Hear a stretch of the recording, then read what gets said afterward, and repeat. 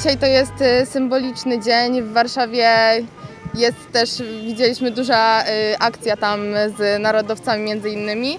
No dzisiaj miało nie być żadnych protestów, tak było powiedziane odgórnie ze strajku kobiet, no ale właśnie zdecydowaliśmy się, że dzisiaj tak symbolicznie postanowimy uczcić y, strajkiem samochodowym. Tylko wiara pozostaje w niektórych momentach i myślę, że warto walczyć o swoją wolność sposobami, które jednak są dozwolone w Konstytucji, tak?